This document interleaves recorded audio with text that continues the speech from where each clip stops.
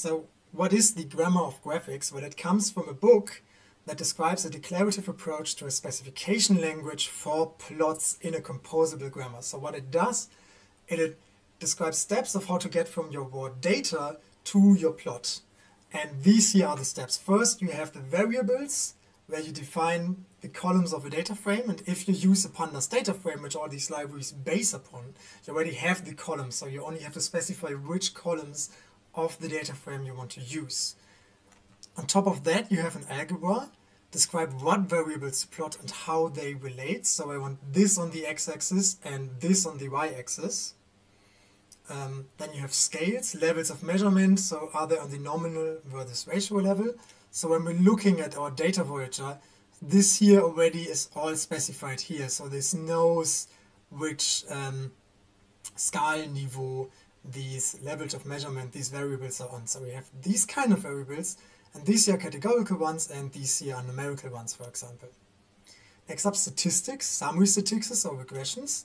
So if we're using our Voyager, we see already that we can take the min, mean, sum, we can bin it, we can take the max, the medium, we can take the count, and all that kind of stuff we do afterwards. Then the geometry, like points or lines, what kind of plot we want to have. Coordinate transformations afterwards, and then the aesthetics. So um, making, so here we decide what kind of plot we want to have. Do we want to have a histogram, a line plot, a scatter plot, whatever. And then afterwards we add aesthetics like, and please make this variable this shape and this variable this color, for example.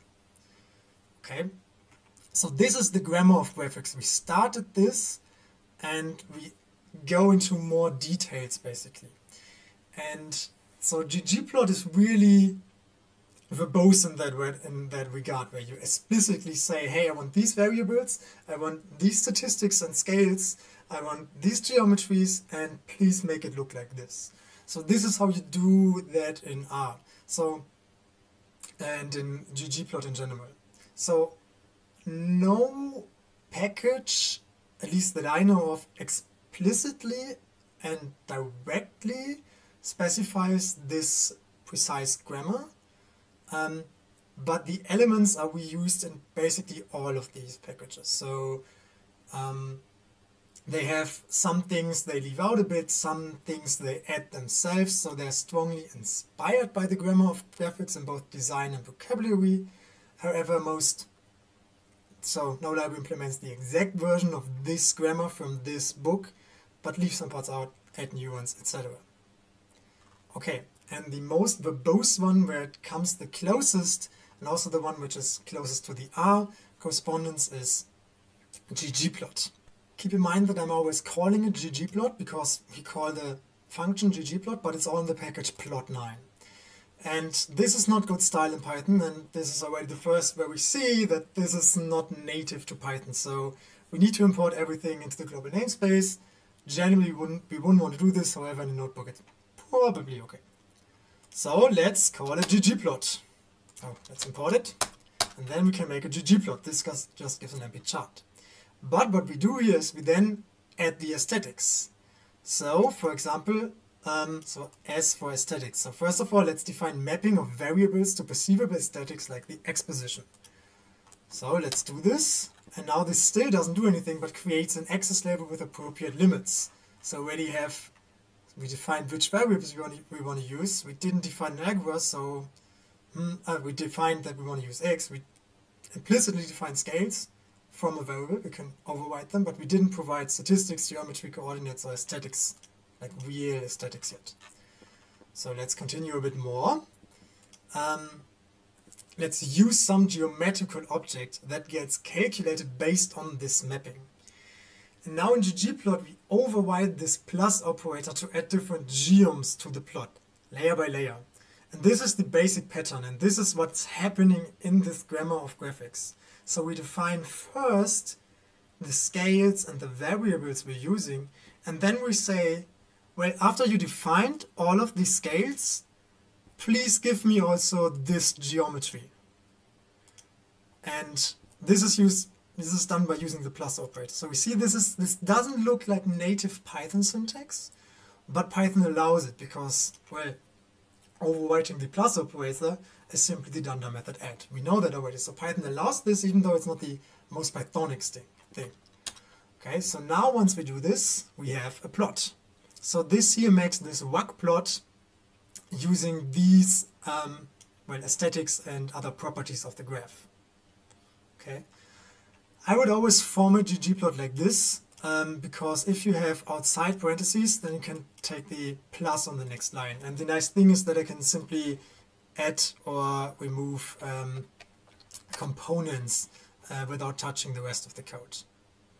Okay, now the power of this grammar of graphics is that we don't need to search for configuration parameters of plotting functions, so we never have to search for, well, what are the keyword arguments of these functions, but simply we can simply compose complex plots of simple expressions. This is what I told you earlier. So if we want to only not only have this WAC geom element, but also the density, we can simply add that to our plot because we defined the scales and the variables already. So we then simply have to tell, and also please do this. So I don't have to specify for the geom density anything. I just have to tell the name, oh, please also put the density on top of that. Alright, so now this is how it looks without it, and I can simply add the density like this. It takes the aesthetics from the already predefined ggplot instance. Okay, so by default all added geoms will inherit the aesthetics mapping of the plot However, we can override this by passing a new aesthetics object, which is not that often done. But so here, for example, we create a basic ggplot where we say on the x-axis, please have the, the acceleration. And then we want the, um, so the first geom is going to use acceleration and we please want to plot, plot that in red. And the second one over white, well, this uses acceleration because it inherits that from the ggplot instance, but we also want to add another density geom, which is supposed to use another aesthetics, and for this we simply give it a new aesthetics object and say, well, you use this axis as your horsepower, and your color is blue.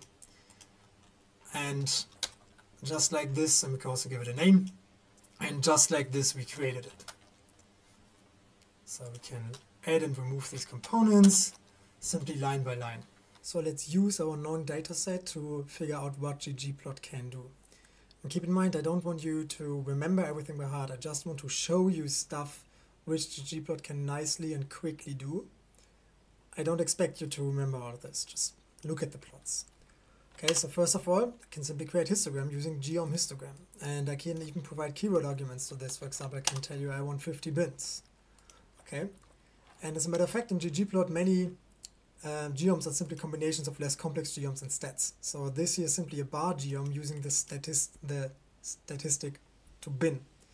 Okay, and how do we figure all of this out? Well, we simply look at the API documentation, right? This here is the oops, plotnine API documentation. I have listed it below, and these here are all possible geoms. And then we can just as well look at the possible stats. And these here are the stats I can use. Okay, so I can, for example, also access variables that are not directly available from the dataset but get calculated by some stat by simply putting it into a string. Okay, I can say, and the histogram is supposed to have the aesthetics that I want to calculate the density for the y-axis. Um, and the strings in this expression here can refer to columns in the data frame. So for example, like we do here, accelerations, variables in the namespace. So I could, if I defined x equals something, I could simply use x equals and then the string x here, uh, or to aesthetic values calculated by the stats. So what does this mean? Well, these stats calculate some aesthetic values. So for example, the stat density here can calculate density count and this scaled density estimate. Okay, and this is why I can call stat density inside this. Text I'm getting used to, not important for you, just know that you can do this kind of stuff and if you wanted to understand it better, just look at the tutorials of the respective libraries. Okay, so you can do, could do count here too, I think. It's not too transparent to me either, so I'm not entirely sure. Yeah, count is obviously then again histogram. Um, So yeah, this works again, not many details, okay? Can make box plots using geom box plot in one dimension.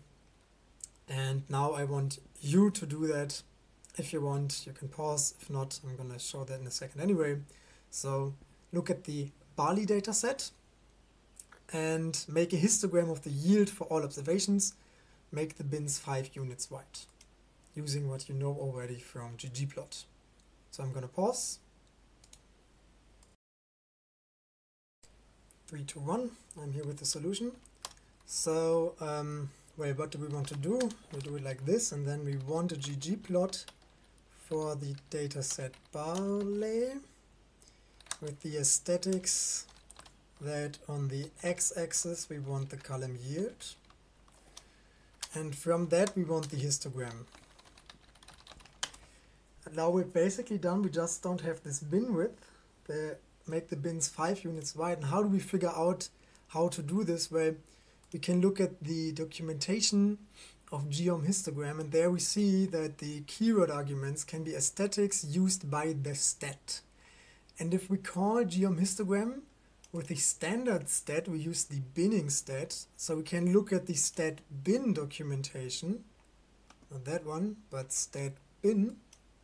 And we see here that here there's, for example, the bin width argument, the width of the bins. Okay, so we know that we can use the bin width aesthetics.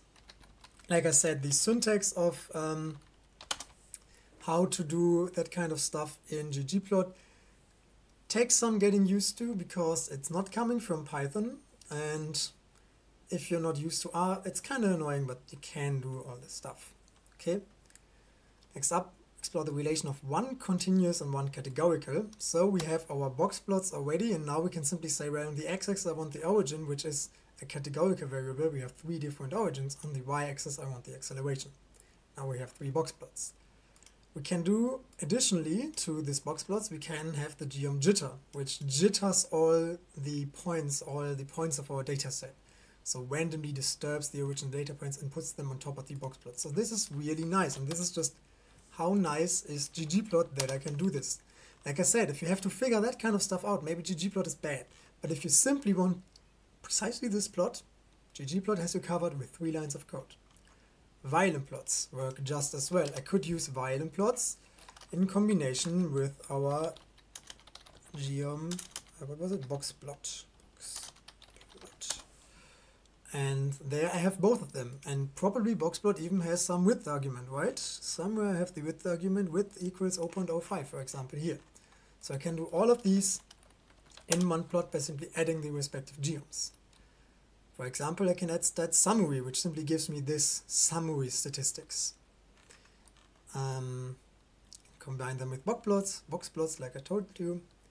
And for example, I can look at the density split by a categorical variable, right? So now I have um, the origin I use to fill here such that I have three different colors for the respective origins. And on the x-axis, I have the miles per gallon and I have a density plot where um, the colors are not uh, translucent a bit. So this makes up this nice plot with two lines of code. So if you want precisely this plot, ggplots get you covered. Can do the same with histograms. So for example, fill equals origin here. Now I have, so now I have basically, so I have the combination of the miles per gallon and origin, whereas origin is a categorical variable. Categorical variables are perfect to put onto colors, to code them. So I don't need an additional axis in my plot for this. I can simply make this binning, the histogram, but categorical variables I can map to a color. That's really nice. And this here is a quickly done plot. So this tells me that American cars, well, first of all, there are much more American cars. And second of all, the American cars have less miles per gallon than Europe cars and most of all than Japanese cars. Okay, so this is a nice plot and it's done in two lines. And if we did the same in matplotlib, like this, this is what we would do. We have to use some magic, then we would have to group over our data, uh, our data frame, and then make these histograms according to um, so the respective groups, which are Europe, Japan, and USA. Um, have to specify the label here and then we then we have the axis labels and the legend and we're done. But we still have to loop over our dataset and this is all abstracted away in ggplot and the other plotting libraries. So this works and it's more customizable, but keep in mind that we can also customize ggplot, but ggplot is incredibly much faster for exploration. Let's get back to the barley dataset and now make a violin plot for the yield of the yield for each respective site and jitter the original data plot on top of the violins. Okay, I'm gonna be back soon. Okay, so first of all, let's make sure that um, the site column is actually categorical, and yes, it is. And then what we want to do, where we want to make a ggplot, where we have the aesthetics that on the x-axis we want the categorical variable site, and on the y-axis we want the yield. This is what we, the result basically. And then we make this, and then I said I want to have the violin plot, so I add geom violin and also I wanted the jitter, geom jitter. And now looking at this, this is what we want. So we could also add a width here to the jitter. And now it's pretty. Let's explore the relation of two continuous variables. And what we normally do is we make a scatter plot. So here we see a correlation between weight and horsepower. How do we do this? On the x-axis we want horsepower column, on the y-axis we want the weight column, and we want points. Um, we could, for example, also add um, the geom text to give the points names. So I do that only for the first 10 values of our dataset here, because if I wouldn't do that, it would look kind of shitty, but if we have only a few values, we can also add the text, which looks nice.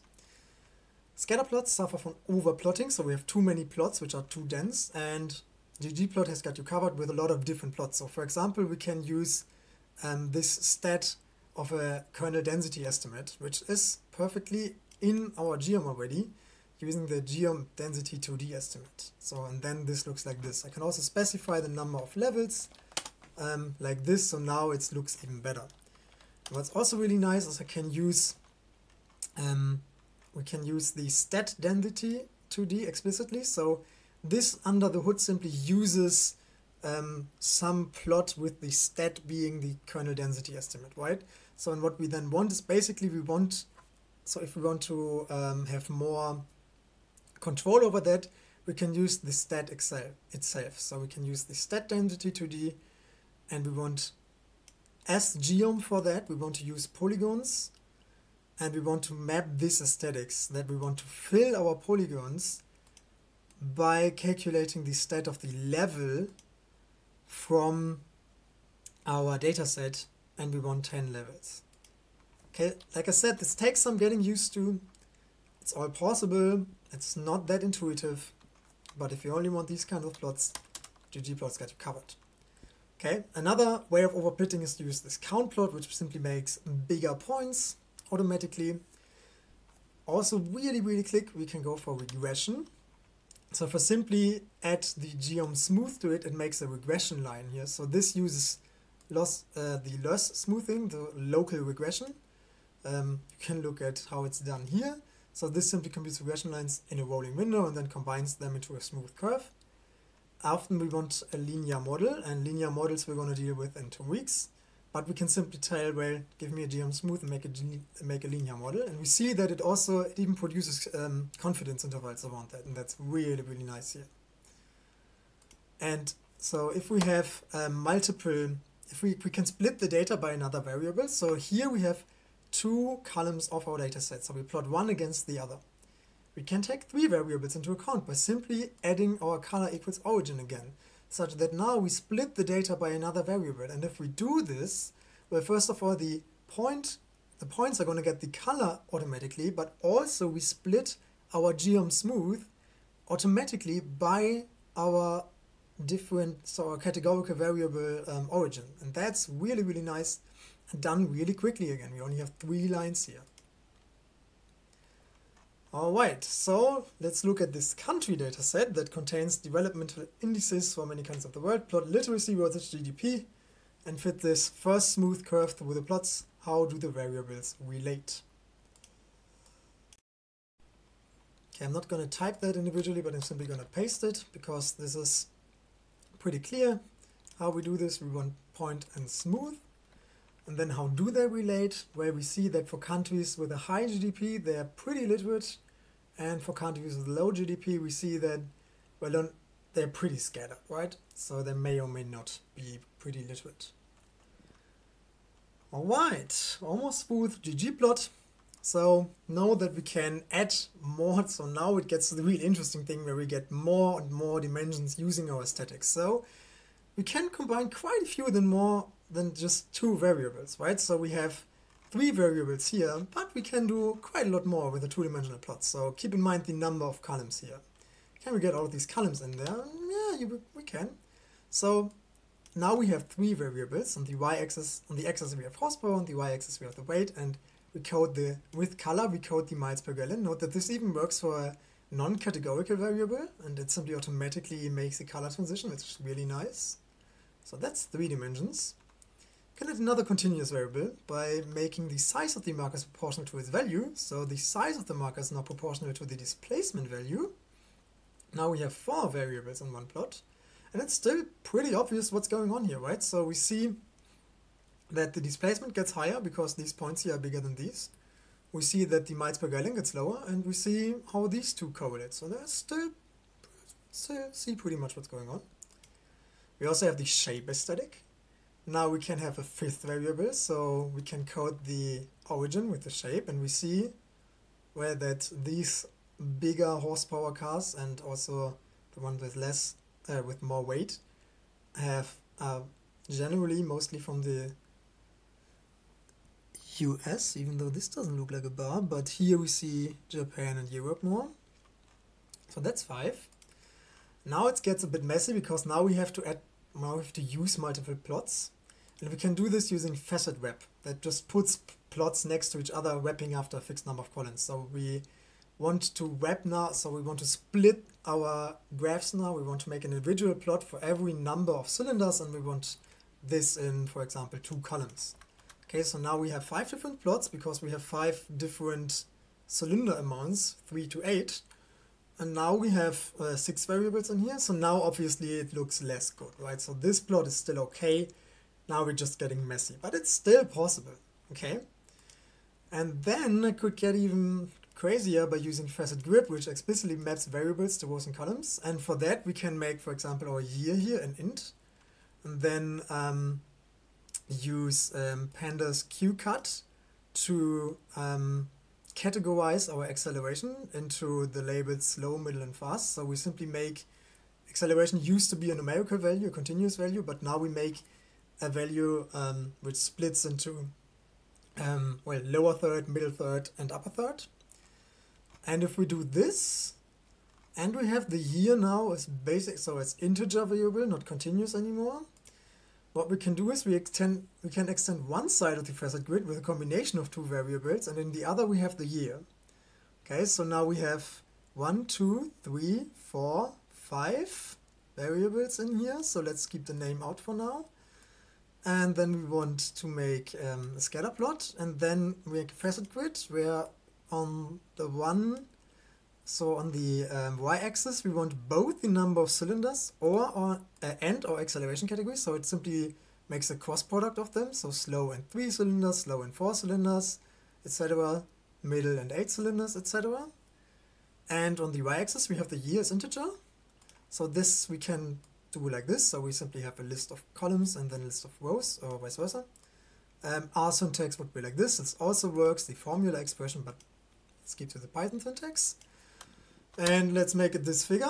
And oh yeah, I didn't create them before. And now we have eight variables in one plot. And if we also add the text here, that makes the plot really, really messy, but I could have, in theory, all nine variables in this plot. Like I said, it looks messy, but it's possible. And it's only these four or five lines if I include the text, of course. So this is without text, and I can even do it with text. Okay, like I said, it gets really messy, but it's in theory possible. Okay, so let's turn back to our barley dataset for ggplot one last time. And let's make a box plot of the two years of the experiment each, facet the plot by side. Okay, so um, look at this tip on how to do that and yeah there we have it. With the text like I said it gets messy but it's possible. So what's the solution? So we want to factor here right here in this main aesthetics to make it categorical and then we actually want the yield then we want the box plots and we want to facet wrap by site. And now we have the same thing for our barley dataset six sites with um, two years each. Alright that's it for um, ggplot almost. First of all here's the link to the documentation where it lists all geoms and stats. And now it's time to show you the killer feature of ggplot which is the main reason I have it here plus the max KCD